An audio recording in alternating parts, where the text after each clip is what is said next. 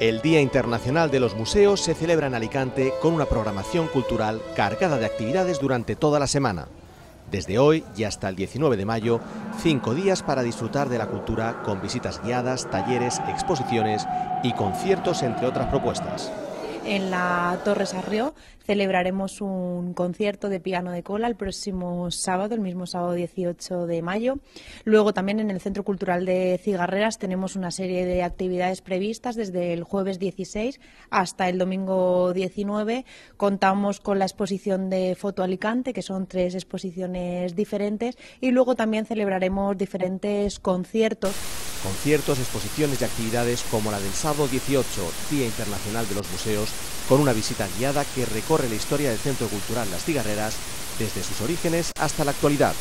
El MACA también ha preparado una programación especial con Eusebio Sempere como protagonista. Destacar actividades relacionadas con Eusebio Sempere, como son las lecturas dramatizadas, teatros, un audiovisual y un documental que estrenamos ese, este jueves 16 y luego diferentes conciertos, MACA en vivo, visitas guiadas, también hemos preparado por el museo. En definitiva, una gran fiesta para celebrar ese Día Internacional de los Museos el 18 de mayo.